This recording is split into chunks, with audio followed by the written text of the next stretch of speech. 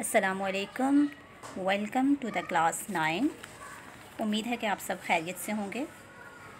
आज हमारा इन जो है वो तीसरा लेक्चर है। पहला लेक्चर आपको पता है कि वो कुरान की सूरतों से मुतल था, कुरान की सूरतों का तर्जुमा और उनकी तशरी दूसरा लेक्चर हमारा अहादीस से मुतल था और तीसरा लेक्चर हमारा मौजूदी मताल है। ठीक है? तो इसमें हमारा जो पहला टॉपिक है वो कुरान मजीद है, यानी कुरान मजीद का तारफ़, कुरान मजीद की हिफाजत और कुरान मजीद के फ़ज़ाइल। तीन चीज़ें हैं इसमें हमारी, ठीक है? तो सबसे पहले हम स्टार्ट करते हैं कुरान मजीद का तारफ़, ठीक है? कुरान मजीद का तारफ़ क्या है? कुरान मजीद जो है वो अल्लाह ताला ने इंसानों की हिदायत और रहनुमाई के लिए अम्बिया कराम और रसूल भेजे, जिन्होंने अल्लाह ताला के अहकाम इंसानों तक पहुँचाए। और हिदायत और रहनुमाई का ये सिलसिला एक तवील अरसे तक जारी रहा। और यहाँ तक कि जब इंसान की अक्ल और शूर इस मंजिल तक पहुँच गई कि अब अब की हिदायत और रहनुमाई की मज़ीद ज़रूरत नहीं रही है तो अल्लाह ताला ने नबूत का सिलसिला ख़त्म कर दिया और नबी अकरम सल्लल्लाहु अलैहि वसल्लम को अपना आखिरी नबी और रसूल बनाकर भेजा। और इंसानों के लिए तमाम बेहतरीन असूलों का एक मजमू की शक्ल में हज़रत मोहम्मद सल्लल्लाहु अलैहि वसल्लम से वसीला से इंसानों को अता कर दिया, जिसे कुरान मजीद कहा जाता है। ठीक है? अच्छा कुरान मजीद का तारफ़ में हम कुछ चीज़ें बयान करेंगे। सबसे पहले कुरान मजीद की सूरतें कितनी हैं? कुरान मजीद जो है वो 114 सूरतों पर मुश्तमिल है, जिनकी तकसीम मक्की और मदनी सूरतों में की गई है, यानी कुछ सूरतें मक्की हैं और कुछ सूरतें मदनी हैं। इसके अलावा कुरान मजीद में छः हज़ार छः सौ छियासठ आयात हैं, पाँच सौ अठावन रुकों हैं और इसके तीस पारे हैं, जिसके हर पारे को एक उनवान दिया गया है। ठीक है, और कुरान मजीद हज़रत मोहम्मद सल्लल्लाहु अलैहि वसल्लम पर नाजिल किया गया और इसके नज़ूल की मुद्दत तेईस साल है, यानी वो तेईस साल के अरसे में शब कदर को नाजिल हुआ रमज़ान मुबारक में। अच्छा अब हम बात करेंगे कुरान मजीद के असमाय मुबारक, कुरान मजीद के नामों के बारे में। कुरान मजीद के मुख्तलिफ़ नाम हैं, जिनमें से पचपन नाम ऐसे हैं जिन्हें कुरान, जो ख़ुद कुरानी आयात से अखज़ किया गया जिन्हें ख़ुद कुरानी आयात से अखज़ किया गया है, ठीक है? यानी कुरान में मौजूद हैं, वहीं से लिए गया उनको। कुरान मजीद के असमाय मुबारक, कुरान मजीद का एक तारफ़ पेश करते हैं। इनमें से चंद मैं आपके सामने पेश करती हूँ, चंद नाम। पहला नाम है अलकिताब, यानी दुनिया की तमाम तर किताबों में से सबसे अफजल तरीन किताब। नंबर दो, अलफ़ुरक़ान, यानी ऐसी मुक़दस किताब जो सच और झूठ में वाज फ़र्क करती हो। नंबर तीन, नूर, यानी ऐसी किताब जो इंसानों की हिदायत और रहनमाई के लिए एक रोशनी है। नंबर चार, शिफा, यानी ऐसी किताब जिसमें इंसानों के लिए शिफा है और जिसमें उनकी रूहानी तरबियत है। नंबर पाँच तस्करा ऐसी किताब जिसमें इबरत और नसीहत है। और नंबर छः अल इल्म एक ऐसी किताब जो ऐसा इल्म फराहम करती है जिसकी हर इंसान को ज़रूरत है। और नंबर सात, अलबयान, एक ऐसी किताब जिसमें हर तालीम को पूरी वजाहत से बयान किया गया है। ठीक है? तो ये कुरान मजीद का मुख्तसर सा तारफ़ है और इसको आपने अपने अल्फाज में अपने पास नोट भी करना है। ठीक है? अच्छा दूसरी चीज़ हमारे पास क्या है कि कुरान पाक की हिफाजत, कुरान पाक की हिफाजत कौन कर रहा है? ठीक है, कुरान पाक इतने साल गुजरने के बाद हमारे पास उसी शक्ल में मौजूद है, उसमें कोई रद्द बदल नहीं हुआ। ठीक है? तो कुरान पाक की हिफाजत का ज़िम्मा किसने लिया है? ये सब हमें देखना है, ठीक है? कुरान मजीद जो है वो अल्लाह ताला की तरफ़ से इंसानों के लिए हिदायत की एक मुकम्मल और जाम किताब है, ठीक है? और कुरान मजीद नज़ूर से पहले लोहे महफूज में मकतूब था। नाजिल होने से पहले ही लोहे महफूज में लिखा हुआ था। कुरान पाक में ही अल्लाह ताला इरशाद फरमाता है कि इन्ना नहनु नज़ल ज़िक्रा व इन्ना लहू लहाफिजून। सूरतुल हिज्र है और आयत नंबर नाइन। तर्जुमा बिलाशुबा ये ज़िक्र हमने ही नाजिल किया है और हम ख़ुद ही इसके मुहाफ़ हैं। ठीक है? तो ये चीज़ तो हमें कुरान में से ही नज़र आ गई कि अल्लाह ताला ने ख़ुद फरमा दिया कि ये बिलाशुबा, ये ज़िक्र जो है वो हमने नाजिल किया और हम ख़ुद ही इसकी हिफाजत करेंगे। जब अल्लाह ताला कुरान की हिफाजत कर रहा है तो इसका मतलब ये है कि कुरान पाक में क़यामत तक कोई रद्दबदल नहीं हो सकता, कोई चेंजिंग नहीं हो सकती हैं। जैसा नाजिल किया गया था, वैसा ही रहेगा। एक और जगह अल्लाह पाक इरशाद फरमाता है, बल हुआ क़ुरान मजीद फ़ी लौह महफूज।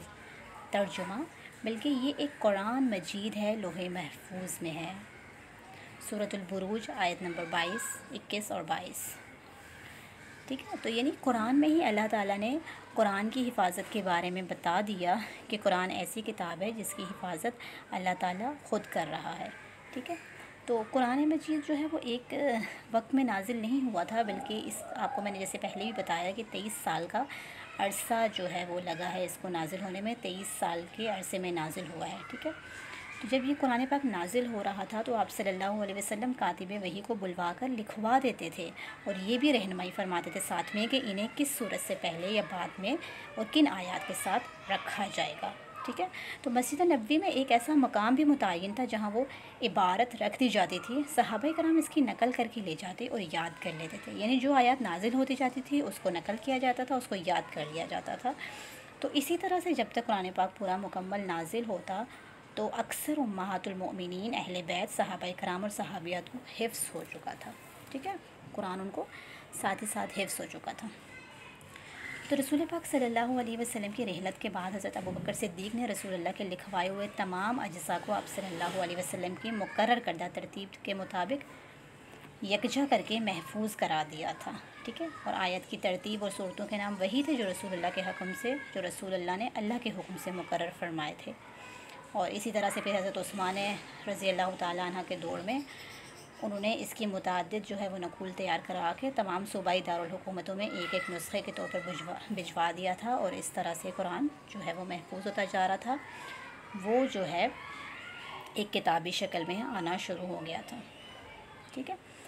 तो इसलिए क्योंकि अल्लाह ताला ने ख़ुद इसका दावा फरमाया कि अल्लाह ताला ही इसकी हिफाजत करेगा, इसलिए आज तक और क़यामत तक इस कुरान में कोई रद्दबदल नहीं हो सकता क्योंकि इसकी हिफाजत करने वाला अल्लाह ताला ख़ुद है। ठीक है? इसके बाद हमारे पास तीसरी चीज़ है फ़ज़ाइल कुरान।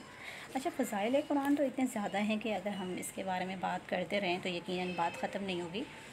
कुरान मजीद के फ़ज़ाइल जो हैं वो बेशुमार हैं। कुरान मजीद में हर चीज़ का इलाज है।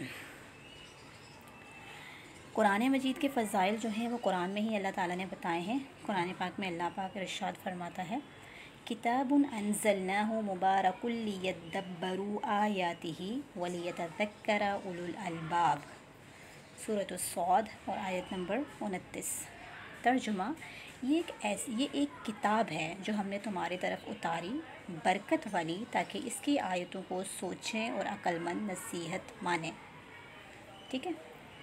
तो यानी अल्लाह फरमा रहा है कि हम, हमने आपकी तरफ़ जो है वो एक किताब बरकत वाली उतारी है। आप इसके बारे में गौर व फ़िक्र करो, इसकी आयतों के बारे में सोचो और कौन इनसे, इससे नसीहत मानेंगे, किसको इससे नसीहत मिलेगी जो अक्लमंद होंगे।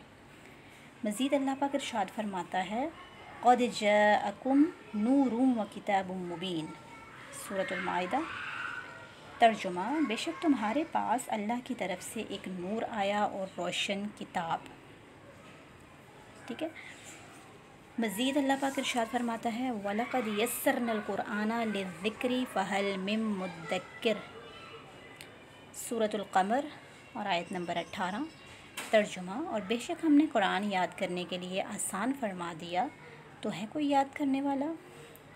अब आप लोग देख सकते हैं कि कुरान ऐसी किताब है कि जिसको जो बच्चा बच्चा जो है वो आसानी से हिफ्स कर लेता है।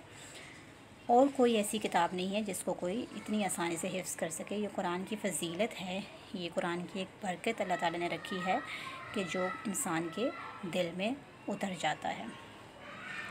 फिर एक जगह अल्लाह पाक इरशाद फरमाता है, या अयुहन्नास क़द जाअकुम मौइज़तुम मिन रब्बिकुम व शिफ़ाउल लिमा फ़िस्सुदूरी व लिलमुमिनीन सूरह यूनुस है।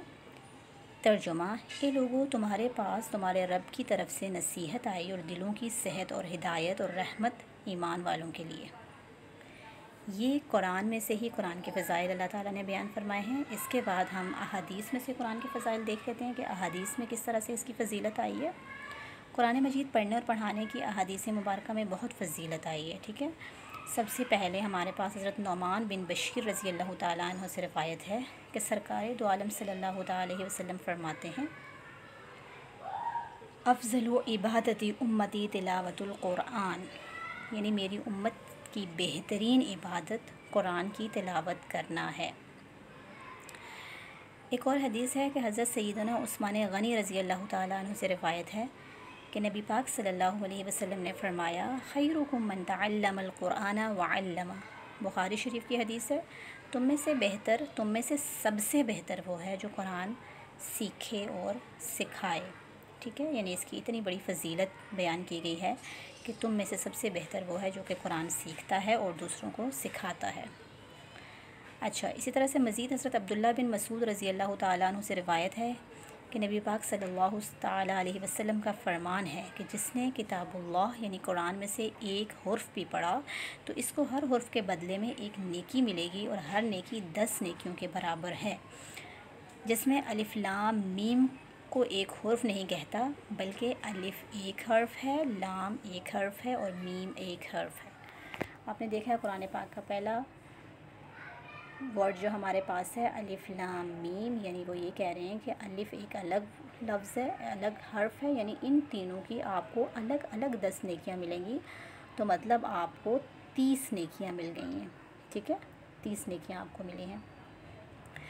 मज़ीद जो है हदीस में आता है कि हज़रत सैदना अबू हुरैरा से रिवायत है कि नबी पाक सल्लल्लाहु अलैहि वसल्लम ने फ़रमाया कि जो कौम भी किताबुल्ला कुरान की तिलावत करने और इसको बाहमी पढ़ने पढ़ाने के लिए अल्लाह के घरों में से किसी घर में जमा होते हैं।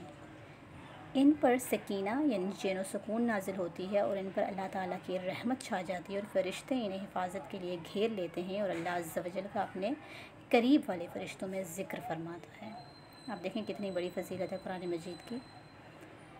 नेज़ एक और हदीस में है कि हज़रत सैदना माज रज़ी अल्लाह तु से रवायत है कि नबी पाक सल्लल्लाहु अलैहि वसल्लम ने फ़रमाया, जो शख्स कुरान पढ़े और इसके मुताबिक अमल करे तो क़यामत के दिन इसके माँ बाप को ऐसा ताज पहना दिया जाएगा कि इसकी रोशनी दुनिया के सूरज की रोशनी से बढ़कर होगी, जबकि सूरज जबकि सूरज के सूरज को इतना करीब फ़र्ज़ कर लिया जाएगा, गोया तुम्हारे घरों पर उतर आया है। फिर तुम समझ सकते हो कि जब माँ बाप का ये मर्तबा होगा तो इस शख्स का क्या दर्जा होगा जिसने कुरान पर अमल किया हो। ओके, क्लास तो ये था आज का आपका लेक्चर। कुरान मजीद का तारफ़, कुरान मजीद की हिफाजत और कुरान मजीद के फ़ज़ाइल। ठीक है, आपने इसको सुनना है। और इसमें से कुछ सवाल हैं जिनको आपने सॉल्व करना है। सवाल नंबर वन, कुरान मजीद का मुख्तसर तारफ़ बयान करें। सवाल नंबर दो, कुरान हकीम की हिफाजत के बारे में आप क्या जानते हैं? बयान कीजिए। और सवाल नंबर तीन, फ़ज़ाइल कुरान पर नोट लिखिए। आज का तो ये हमारा लेक्चर इन फिर नेक्स्ट लेक्चर के साथ कंटिन्यू करेंगे। जजाक अल्लाह हाफिज़ अस्सलाम वालेकुम